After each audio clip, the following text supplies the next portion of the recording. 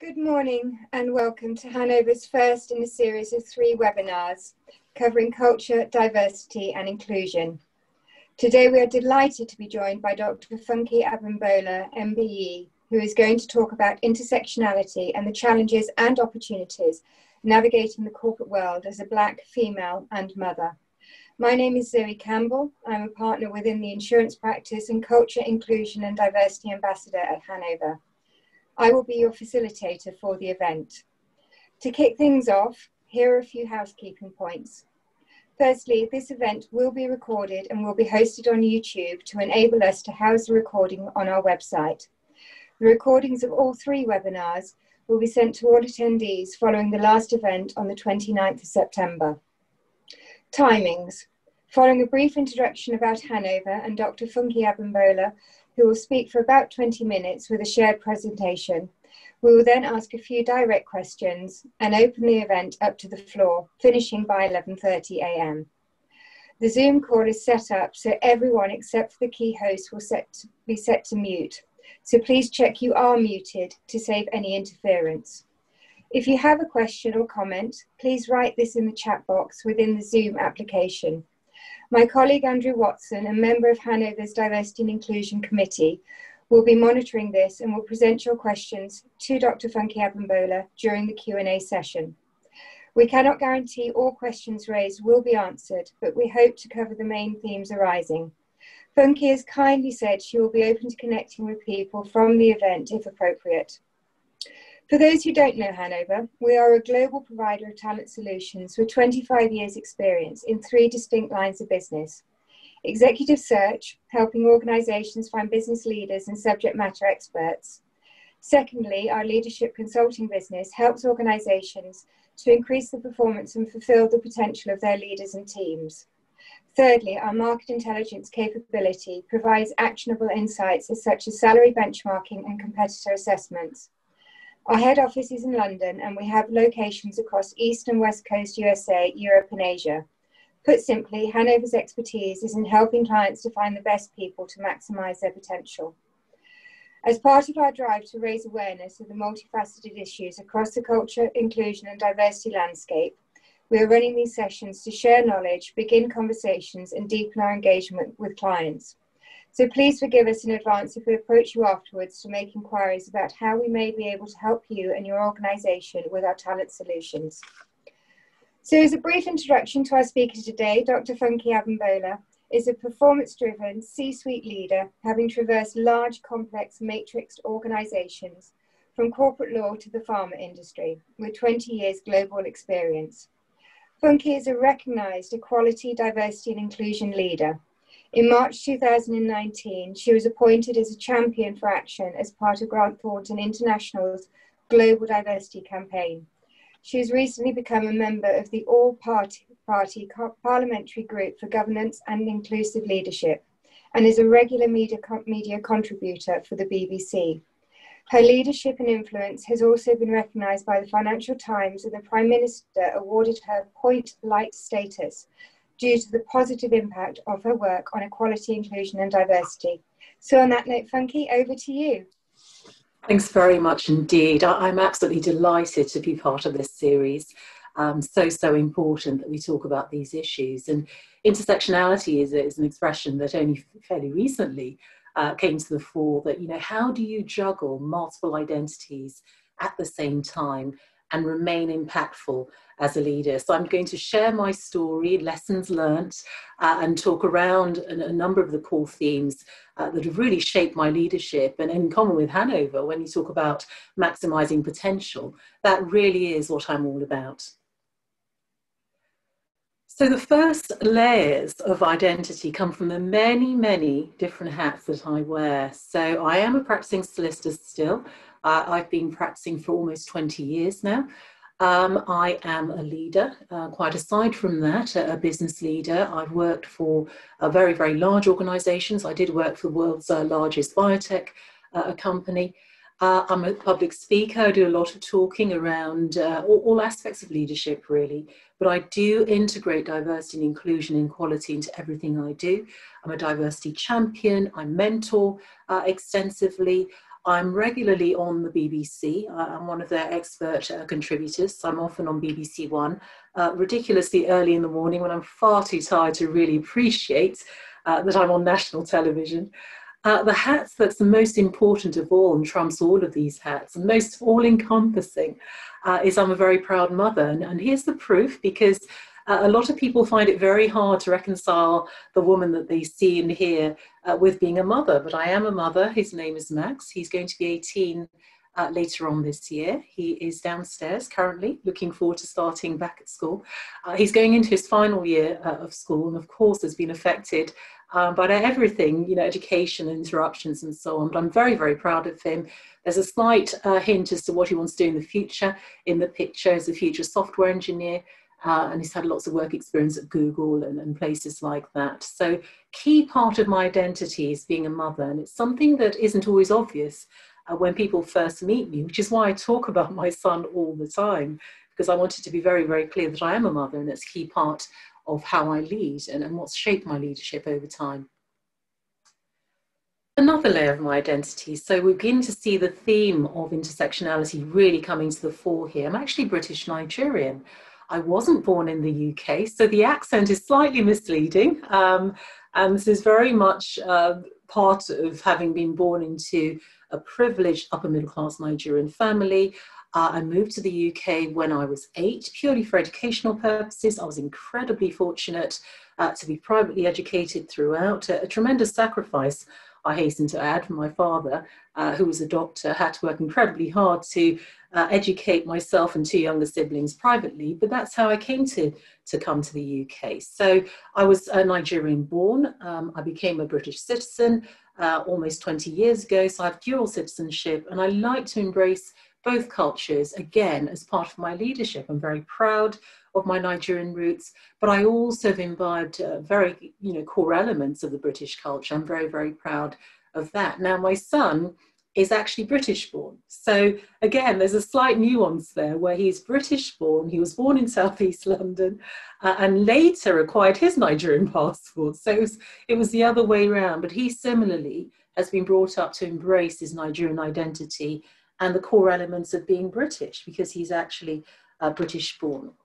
Now, I mentioned that my father was a doctor. Medicine runs very, very deep uh, in our family. He's not the only doctor in the family. So, my mother's also a doctor. Three younger siblings are also doctors, aunts, uncles, etc. Now, I'm talking to you as a solicitor and a business leader. So, what happened there? I had a very interesting discussion with my father when I was 16 I didn't want to do medicine, but because he was paying my school fees, I was terrified to tell him this. I was so worried that he might not support um, my, my non medical aspirations, as it were. I'm the eldest child in a Nigerian family, and with that comes a huge weight of responsibility and leadership. And my dad was actually quite concerned that I might influence younger siblings not to do medicine. He ran a very large private hospital uh, in Nigeria and was very well known uh, for being a you know renowned uh, physician. So it wasn't part of the plan for his daughters to suddenly announce that not only did she not want to do medicine, but she actually wanted to do law. And Dad knew nothing about law, so it was a real issue. I had to get lots of people involved, school teachers, my mum begging and pleading, and so on. It sounds odd to say this now, but I think my father's reactions were driven by fear. But this turning point was so critical in my leadership development. I can see that looking back now because I was determined to prove to my father that in supporting me, he'd made the right decision. Uh, and he did support me at tremendous cost. He paid for my A levels that he didn't want me to do. He wanted me to do science A levels. Of course, I was now doing English literature, uh, history, and economics. He paid for my law degree as an overseas student at Newcastle University, again, when he'd assumed I was going to be doing medicine. So it was a big thing for him. But his one condition was that I had to become one of the top lawyers in the country. So, with that one exception, I was free to jaunt off and do what I wanted within law. Um, but joking aside, he was very, very, very supportive. I graduated, went back to Nigeria for what I thought was going to be a summer break after graduation. I ended up staying far longer uh, almost three years, in fact, uh, because at this stage, finances were a lot tougher for my father, and I had to take a hit for the team. I had younger siblings who hadn't done GCSE, hadn't done A level, And I, whilst I was in Nigeria, I did the Nigerian bar, qualified in Nigeria, and then came back to the UK thinking that it would be really, really easy for me to, to qualify in the UK. And I faced lots and lots of hurdles in doing so. Now, over a period of time, I began to realize that the playing field was not level and that it wasn't enough somehow that I had this outstanding education, top grades, I'd been to Russell Group University. The fact that I was a visible minority, in fact, the fact that my name was obviously African, became very, very clear that this was a real issue. This was a real issue for the law firms I was writing to uh, to apply. I applied with so many CVs and covering letters. And it's what we now call unconscious bias, or in some cases, conscious bias, really, or, or blatant discrimination. But I was comparing myself to uh, my peers who had anglicized names. Many of them were actually West Indian, and they would get past the first hurdle at least. They would apply and at least get an interview. I was even, even getting that, and I had top grades. So, out of sheer desperation, I picked up the phone and I started phoning these law firms direct. I literally drew up a list of the top 150 law firms and in house legal departments. I found out the names of everyone that ran the corporate team because I wanted to become a corporate lawyer. And I cold called them. I had a sales pitch about myself. Um, and I, you know, within a minute, I was able to persuade quite a large number of these senior leaders to invite me in for an exploratory discussion. And that was how ultimately I got my foot in the door. But it left a very bad taste in my mouth because I realized that I had to put in that extra effort. There's a lot of data that backs that up now that as someone who has an unusual name, a non uh, British, a non anglicized name, if you like, you typically have to put in twice as many applications uh, to get the same number uh, of interviews. Now, I experienced that very, very early on in my career. Ultimately, I was able to qualify almost 20 years ago, but as I entered the profession and I meandered my way uh, across various law firms, I worked as a corporate lawyer uh, for four law firms. The bulk of my clients were within financial services. I had a number of insurance clients, for example, and I really enjoyed the transactional work. Uh, but I noticed that I was the only black solicitor at the first firm that I joined, at the second firm that I joined, at the third firm, and then at the fourth firm. And you slowly begin to realize that something else is at play here. My career was progressing quite nicely.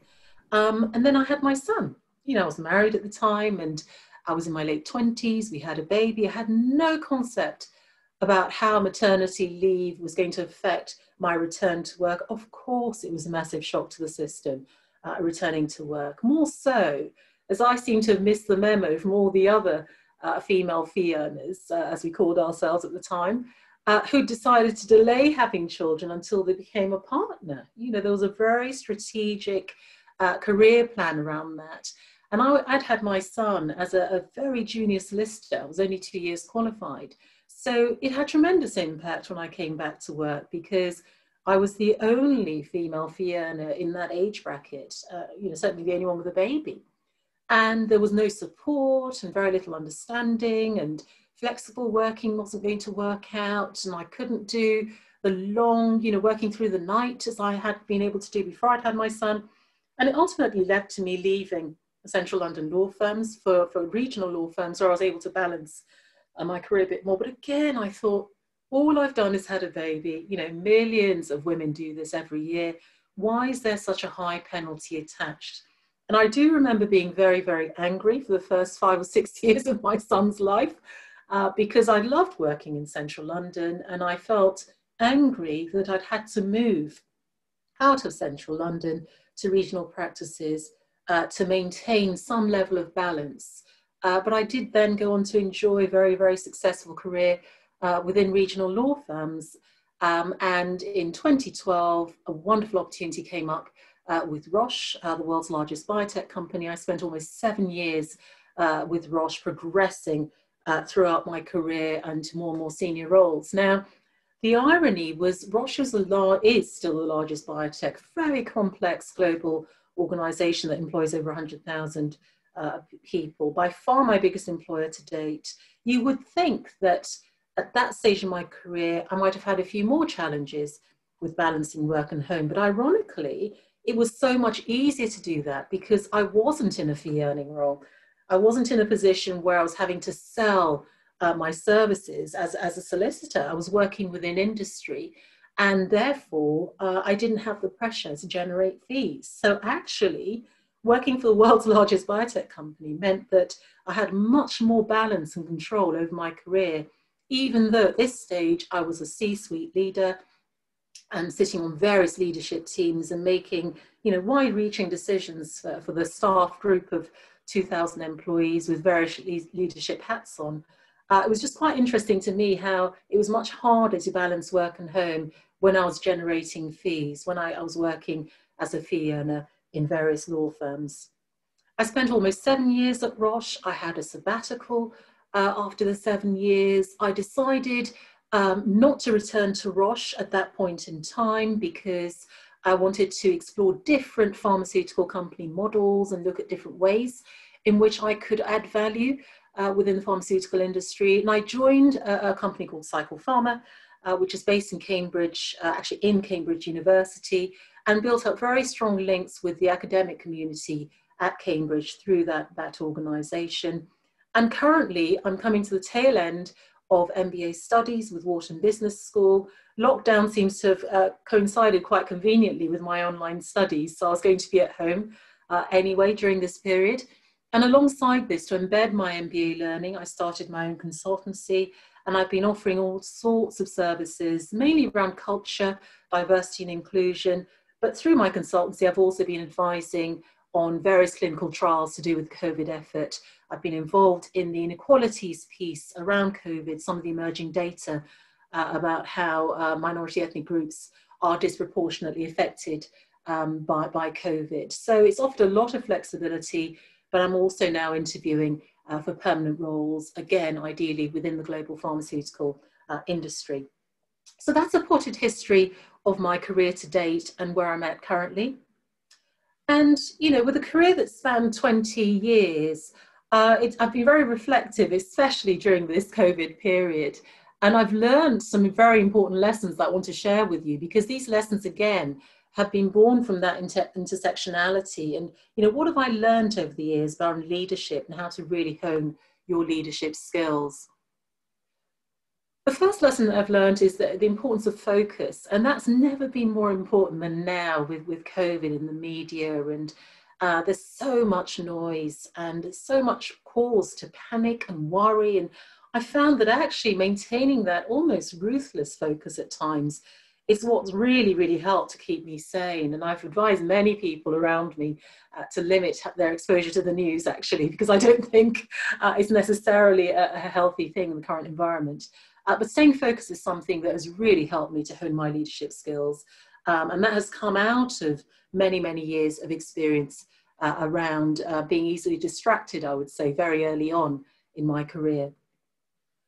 The second thing is standing out from the crowd. I, I believe very strongly in visibility and your personal brand. Um, I, I, maintain a consistent personal brand across all social media platforms, for example. Um, and I encourage people to really fine tune their skills as a leader. What is it about you that really makes you stand out? What makes you a unique proposition? This has been another key element to my success uh, as a leader. And ironically, having had my unusual name be such an issue when I was entering the profession, now my name is unusual. Um, and it makes me stand out and people remember me. They never forget uh, my name. There are no other Funke Abimbolas, for example, uh, who are solicitors. I'm the only one. I checked on the Law Society's uh, uh, roll of solicitors. I'm the only one out of almost 200,000 uh, solicitors. So honing my skills and, and looking at what makes me really stand out has been pivotal uh, for my success and another key learning over the last 20 years. The third thing is to keep learning. Now, this is something I take very, very seriously. Um, I'm always reflecting on, on lessons learned, and I keep learning in a very structured way. I mean, the, the MBA studies. During my sabbatical, I studied extensively around a number of uh, business topics, again, with a view to upping my game even further uh, as a senior leader. So this growth mindset uh, is very, very important for us as leaders. We really need to be mindful that everything is a learning experience and we must embrace that as leaders. Supporting others. Now, this is about mentoring, this is about role modeling, this is about sponsoring people for opportunities, um, assisting those who are looking to you as an example. I've uh, had so much joy from seeing mentees grow and flourish over the years, often lacking confidence when they first meet me. And I love maximizing that potential and, and you know, helping people to, to open up and to realize uh, the potential they have within. So this is another core part of leadership development is how do you support the pipeline? What are you doing? And I would really encourage you to challenge yourselves around this one because it's so key to developing your leadership style. Uh, supporting that pipeline of diverse talent is really, really key. And this is the final lesson I've learned. And this is where I, I like to keep it real, uh, to be very realistic, because as we all know, you can do everything right and it can still go badly wrong. I have so many examples of opportunities that should have landed in my lap and didn't. Um, I have so many instances of situations that were blatantly unfair. Despite best efforts, uh, things don't always pan out uh, the way that one would hope. And again, this is a tough leadership lesson to learn. You know, you become very resilient and you just learn over time to keep calm and believe that tomorrow's another day and things can and will improve. And you just have to keep at it. So it would be most disingenuous of me not to mention this final tip as well. And you begin to see why diversity is so important. Uh, you know, I, I sort of uh, with the intersectionality covers so many different diversity strands. A lot of people find it very hard to know where to place me. You know, I'm a black woman, um, very, very well educated, privately educated, uh, upper middle class background. I'm a mother also, I'm a solicitor. Uh, I'm a healthcare executive. You know, all these different labels. I'm on television, etc., etc. There's so many strands uh, that, that define who I am. And it's so important for me to see others maximizing their potential, whether or not you're from an underrepresented group. I firmly believe um, that your potential should be harnessed and realized. And this is a good example of one of the projects. There are many projects I've been involved in over the years, uh, but I got involved uh, in a social mobility project that actually led on this and got a number of friends to give their time for free.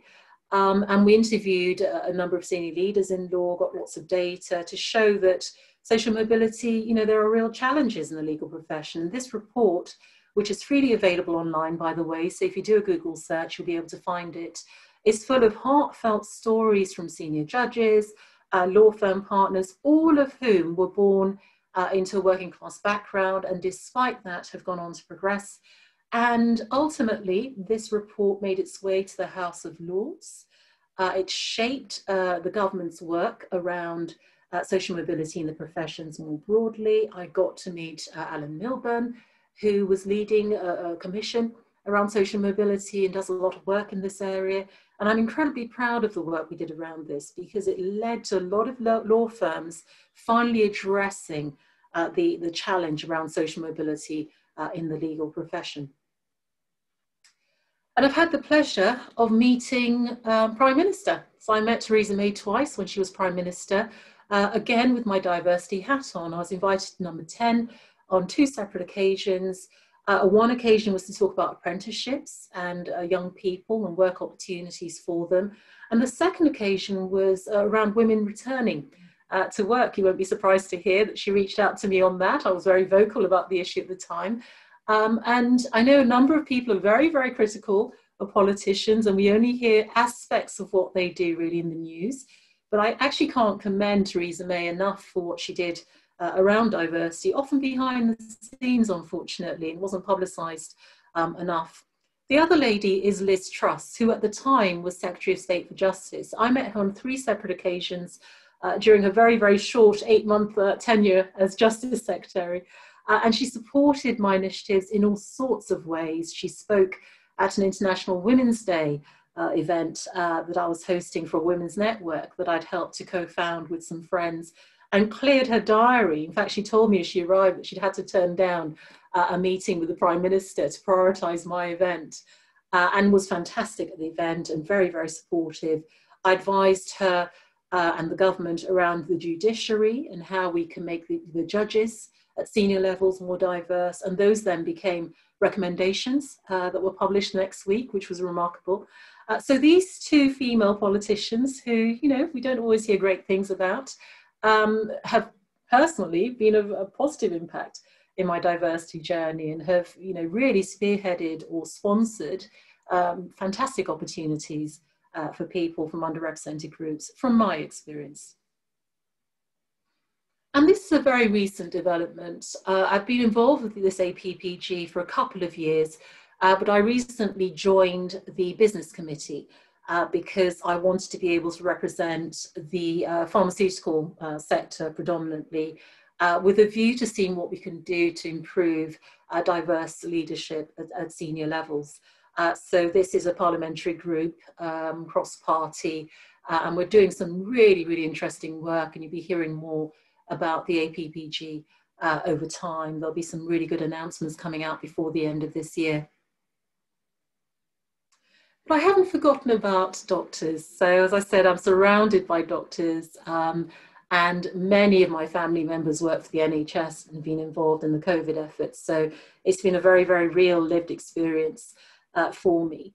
Uh, my father very sadly died uh, over a year, just over eight years ago now, and in his memory, uh, I decided to establish a medical scholarship for him uh, in 2016. The scholarship's now in its uh, fifth year. In fact, uh, applications closed yesterday, so I was spending time yesterday sifting through the over 70 outstanding applications that we've received this year to try and work out who out of these exceptional medical students uh, is going to get uh, the main scholarship award this year. But it's been wonderful uh, to see the cohort of 18 students so far, um, many of whom are now doctors. We've got six doctors now out of that cohort and hopefully we'll have another cohort uh, coming through uh, from this year's uh, application. So I haven't forgotten about future doctors and I do a lot of work uh, with junior, junior doctors and, and, junior talent in the medical field generally.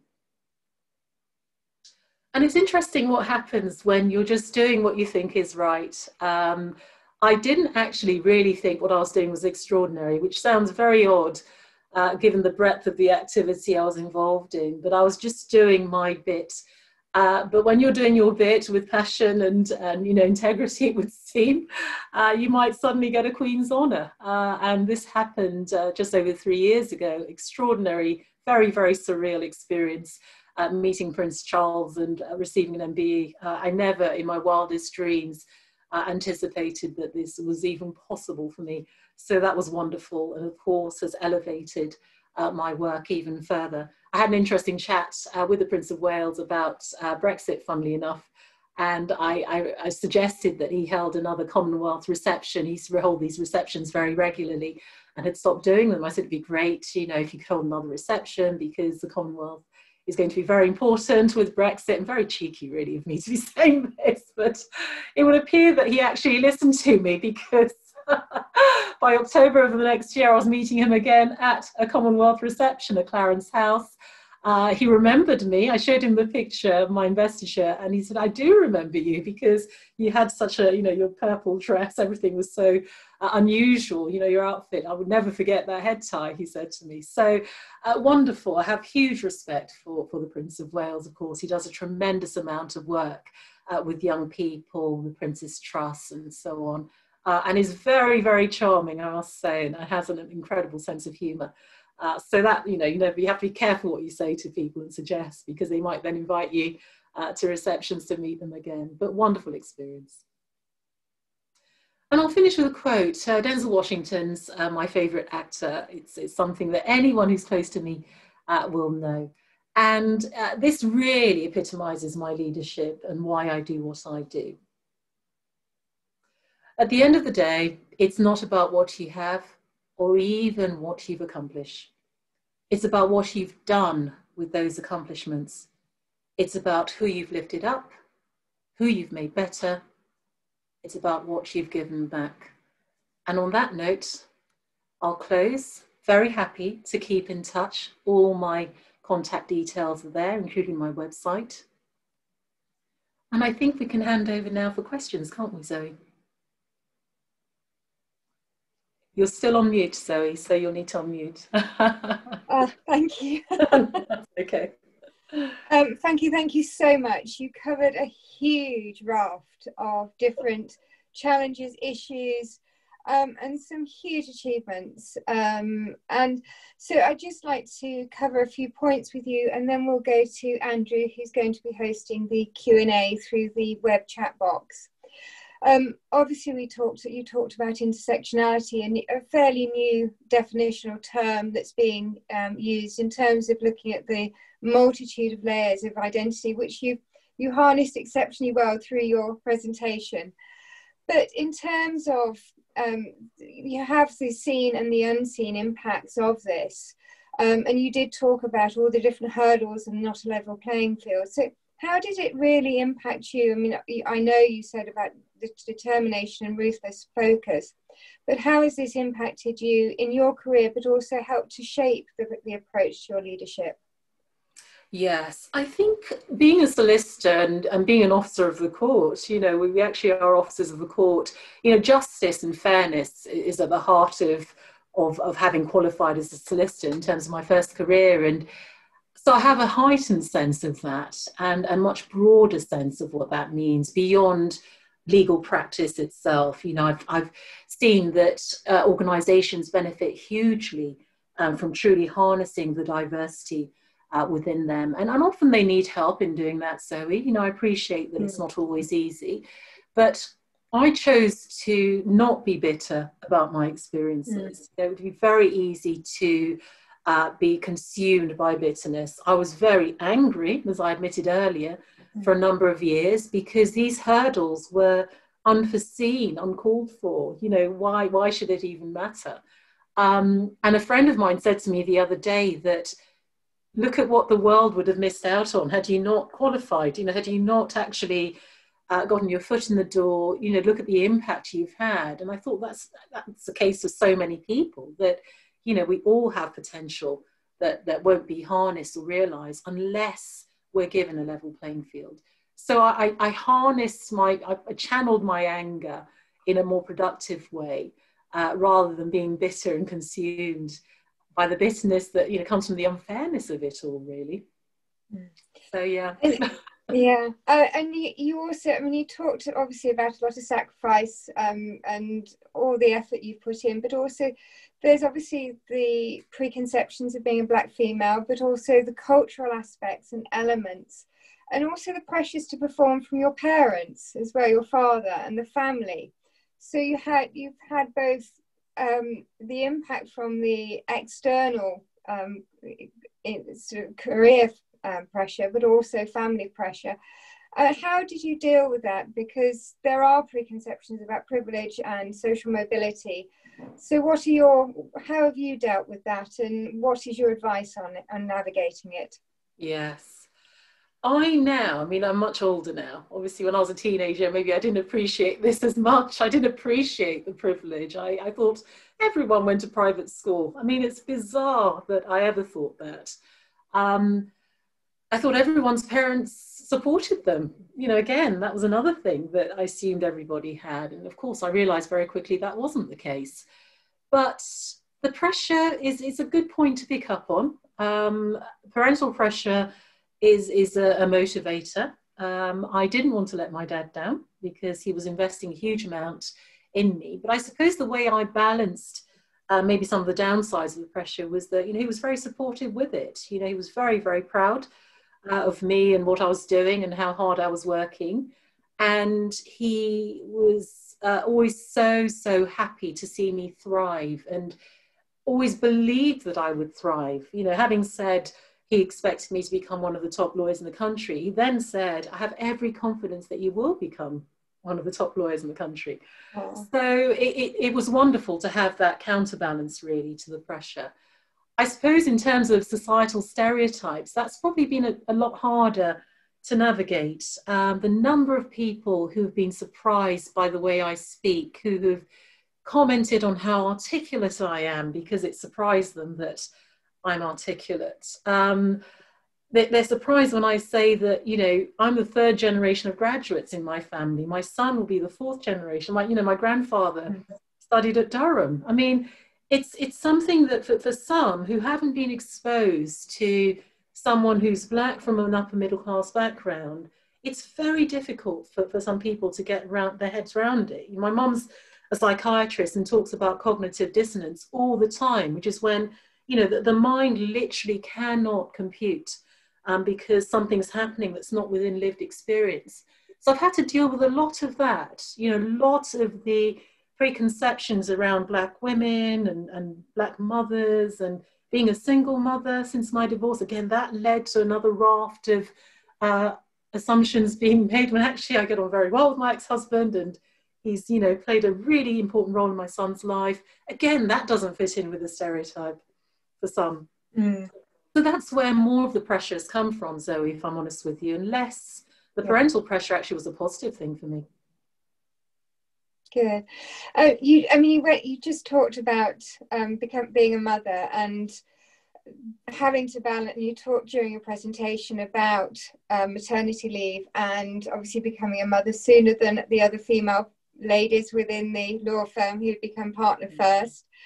Um, this is a huge issue for industry as a whole. Um, and how, what would your advice be to companies that are experiencing women le- leaving to have children and having maternity leave? We obviously now have pater- paternity leave as well, mm. but then mm. actually being able to bring them back um, to the environment and enable them to work in a far more balanced area because you obviously shifted careers completely to I do did. that.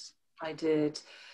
I think what I would say to companies is that we're now managing the expectations of a whole new generation. Um, I had a, a, male, a very young male solicitor uh, I was mentoring four years ago. It made me realize this really is about gender equality. It's not just about the women being supported to come back, it's also the fathers. And this young man was in despair because he was leaving early to pick his, his daughter up uh, from nursery and lying that he was meeting clients and you know it was nothing of the sort uh, his wife was a surgeon working long hours erratic shifts and and therefore he was the one who had to have more regular hours. And made me realize that there's a whole generation of young men who want to have a far more hands-on role. He didn't want to become a partner yet there was an assumption that he wanted to become a partner at that law firm. So we're not only losing out potentially on the female talent, we could find ourselves with a very disenfranchised group of young men also who want to be hands-on dads, who, who want to have uh, the parental leave. And making parental leave far more equal is important. It's far too heavily biased in favour of whoever's had the child at the moment. There's a, quite a high penalty attached to the person who hasn't had a child um, being the one, you know, partaking of parental leave. And the, the law and other considerations need to change around that. But it is about gender equality, Zoe. It's not just a simple case of focusing on the women and encouraging them. We've got to get men involved in the childcare, you know, the home.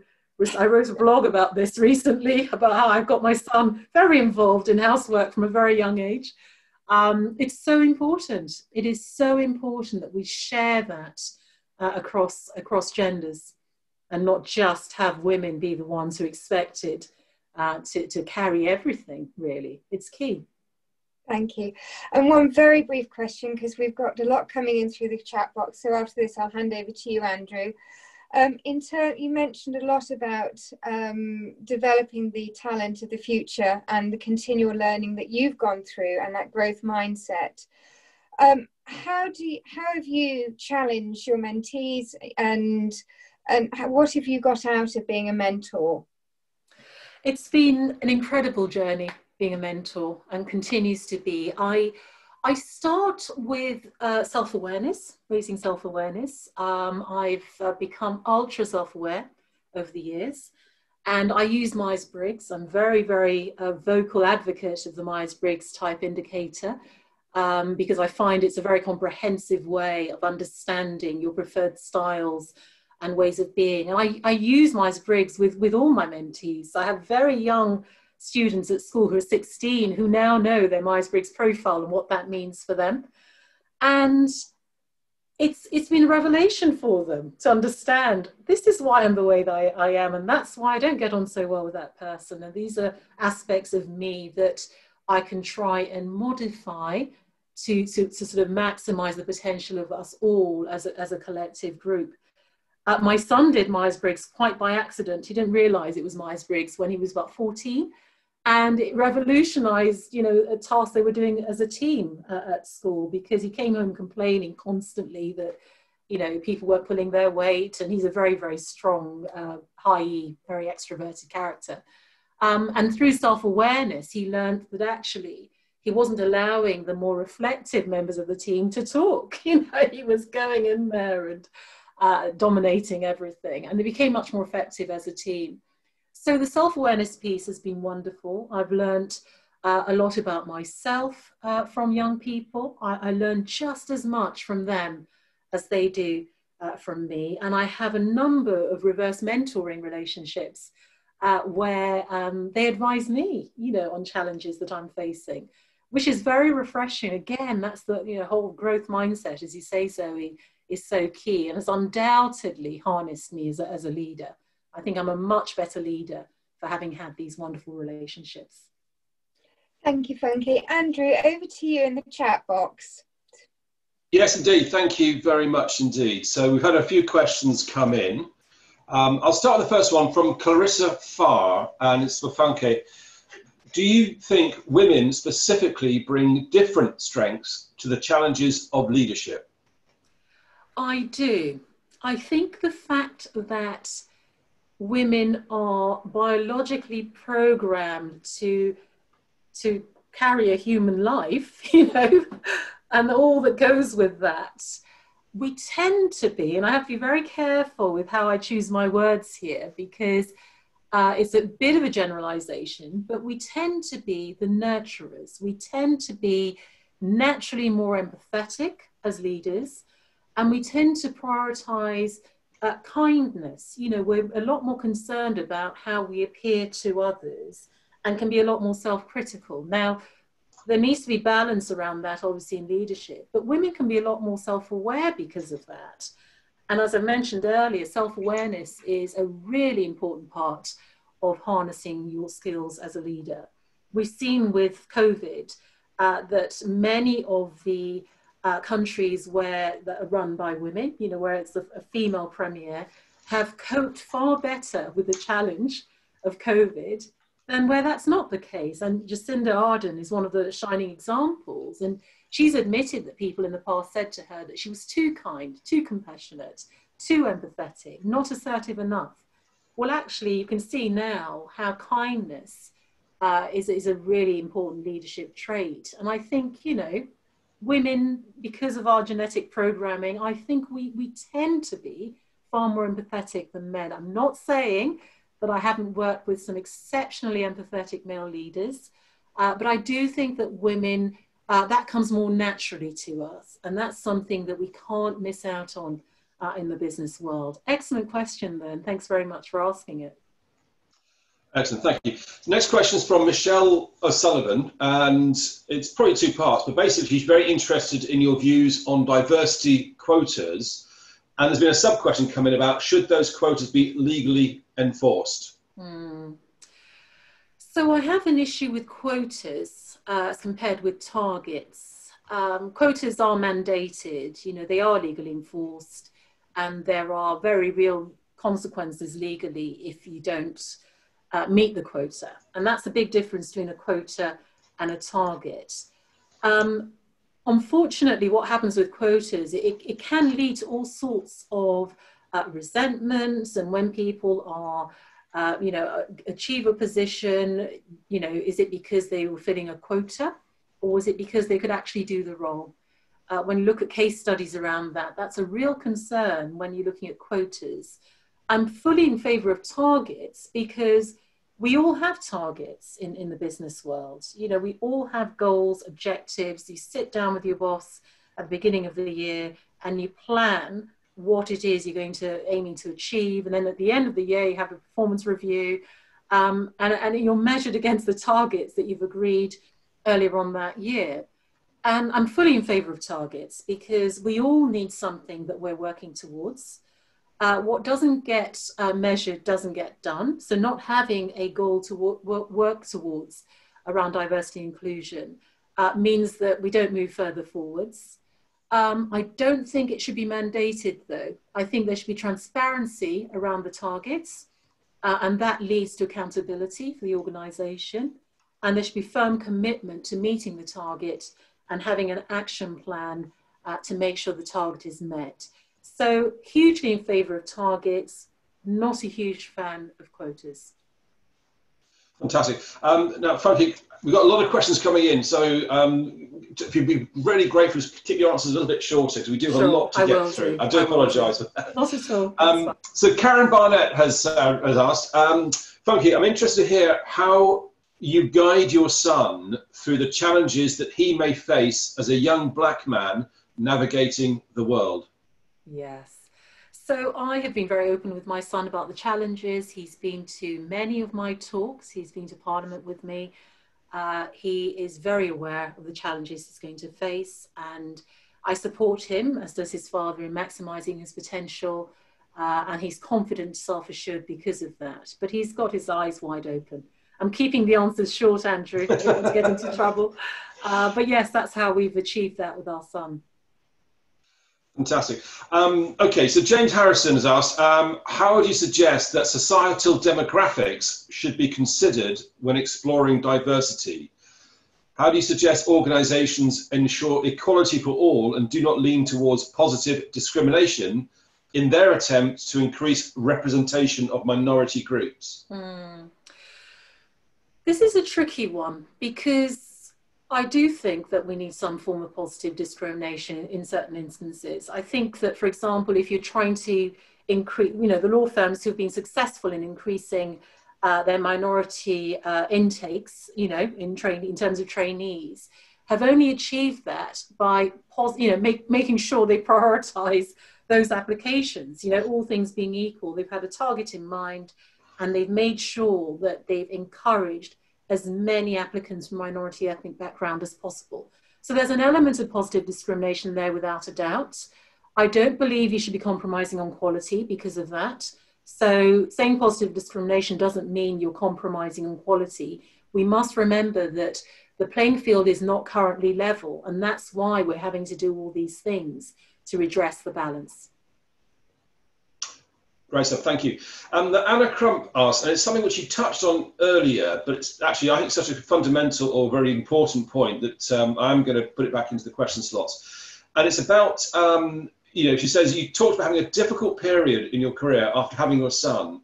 And sadly, I think that experience is one shared by others even now what are some of the things that businesses should do to ensure the experience of working days labour, so after having children is easier and fairer? Uh, plus the granite sets. Can somebody please unmute themselves? We're getting some very interesting business commentary from someone there. yeah, so basically that going back to um, frankly back to the idea of you know we see a lot in the recruitment world, you know, is how um, basically particularly many women, but how businesses can ensure the experiences of working after children is easier and fairer. This goes back to the sharing the responsibilities and encouraging both parents uh, or as broad a range of carers as possible uh, to be involved in, in child rearing and, and housework and everything uh, that goes with that. It's about true gender equality. It's about supporting the young men also and the men uh, and the fathers who want to be a part of this. It's making it easier for them uh, to take on the share, their fair share of the responsibilities at home. Uh, so it's the gender equality piece. I think that's a trick that a lot of employers are missing currently is empowering the men actually to be able to make those decisions also. Perfect, thank you. Uh, Sean Taylor, he asked, um, great chat, thank you. Are you worried that COVID 19 has knocked diversity off the agenda and some firms are perhaps using uh, COVID 19 to stop the focus? It depends. So, culture has become very important uh, with organisations as a result of COVID. Uh, and we've all seen some great examples of organizations that have done right by their staff, and there have been many examples where that's not been the case. Uh, and, and, and staff don't forget those sorts of things. You know, our memories are long as employees. So I think that culture has been brought to the fore. I hear more and more anecdotal evidence about diversity and inclusion being discussed more broadly at C-suite level, uh, being part of the board pack, being something that investors want to see measured. What concerns me then, this is the big but, is this whole pressure of returning back to the office is something that I hadn't anticipated would happen in, in its current form. I, I, still thought that there'd be some flexibility around the number of days, but there seems to be a real push to get as many people back into offices full time as possible. And that could be a real issue for some, you know, who have appreciated the flexibility that has come with COVID. So yes and no is the, is the answer to that question. Perfect. Um, now we're going to be wrapping, I think, shortly, Zoe. So I'll just do some final questions and keep them brief. Is that okay? That's perfect. All right. Um, so Chris Cave asks um, basically about um, schools and colleges. What can they do more of to attack the root causes of a lack of diversity? Um, massive subject, start, I know. Yeah, it is massive to sum that up. Um, having a very broad uh, talent pool that you're actually, um, you know, of applicants, uh, you know, so, you know, Target Oxbridge and other initiatives like that are really, really key and have directly uh, increased the minority um, ethnic intake uh, for Oxbridge. And lots of other universities are doing this uh, similar types of things. Within university itself, inclusion is very important. So supporting the student networks, uh, education, you know, Black History Month and raising awareness of the issues and acknowledging that racism even exists. Uh, sounds obvious, but sometimes, you know, that can be a struggle in itself.